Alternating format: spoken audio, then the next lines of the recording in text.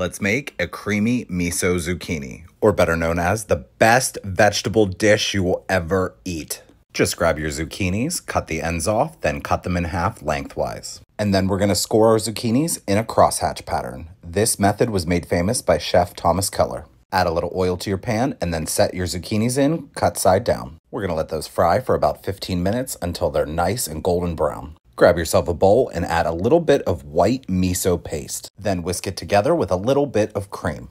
Add little bits at a time until your sauce consistency is slightly runny. Now grab your super sexy looking zucchini, drizzle on your creamy miso sauce, give it a few cracks of black pepper, and a little bit of green onion for garnish. Your friends and family are going to be looking for the to go boxes because they are not going to believe you made this at home. This has become my absolute favorite vegetable dish, and be prepared to make a lot of them because they are going to go fast.